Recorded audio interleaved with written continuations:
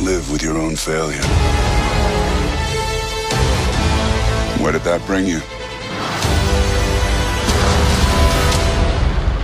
Back to me.